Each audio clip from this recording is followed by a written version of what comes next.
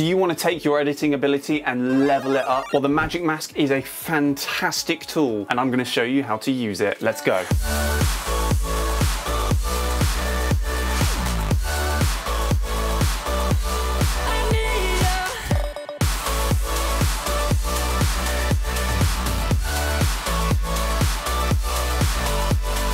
How's it going guys? My name's Dan and you're watching DanVinci and welcome to the very first video on the channel. So please subscribe. I'm, I'm desperate for subscribers. I'm uploading this to literally one subscriber and that is myself. Oh, boo-hoo. So if you stumble across this video, you are probably the first person to ever see this channel. So hello, welcome. So we're gonna jump into Resolve. So first of all, I've got a simple, simple timeline here of a car on a driveway. So if we click play, there we are. So it's just the camera, just pivoting around the car, very simple stuff. The first thing you want to do if you want to create text and put it behind an object, you want to create two of the same footage. One piece of the footage will be the layer on top and one piece of the footage will be the layer at the bottom. And then the text will be sandwiched in between. So what you want to do first is click Alt and while holding down Alt, you want to drag your footage up and you'll create two pieces of identical footage. If you go into the color tab, now this is where the Magic Mask is located, we can see here that I've got a node tree that I've created just a LUT and I've brightened up the exposure just for the sake of the video. We want to create a new node. Now click Alt S.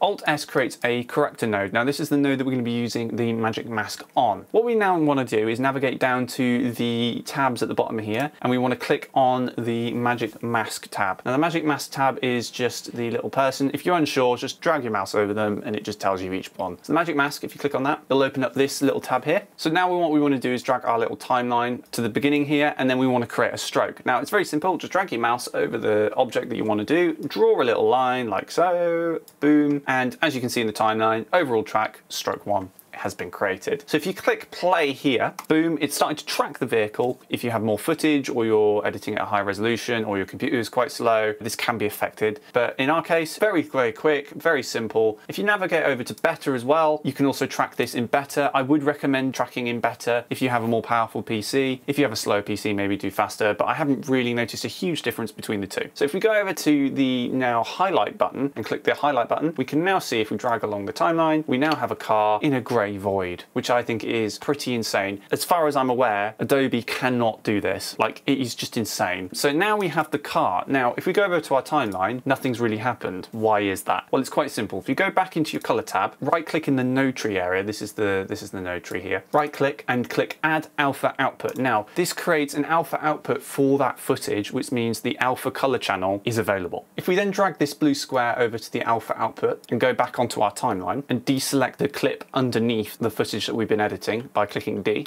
Boom. We now have a car in a black void this time with the car just sort of sitting there looking all nice in the black void, sort of like the Minecraft black void or something. I don't know. You might be saying, damn, this isn't much use to me. It's a car in a black void. Yes, it's not much use for anyone really, a car in a black void. So what do I do from here? Now, it's quite simple really. When you put them on top of each other, what you can't see is that the car is perfectly aligned with the other car that's underneath it. But because the clips are exactly identical, they never show each other, so it just looks like a normal clip. So what we want to do, find our Text Plus, or you can search that in the toolbox just by clicking search text, text plus. If you scale up the text, as you can see, as long as the text is sandwiched between the two shots that you've made, the text shows behind the car. So that's literally pretty much it. And you can just type whatever you want. So for example, Dan, scale that up, change the color of it. Let's say we want black, gray kind of color like that. Scale it up, settings, move it up a little bit, full screen it, boom, text is behind the car. But yeah, that's pretty much it. I hope you guys have enjoyed the very first video on my channel. Leave a comment down below. I'd love to get to know you guys. If you're watching this, you might be the very first person to ever see the channel. Wow.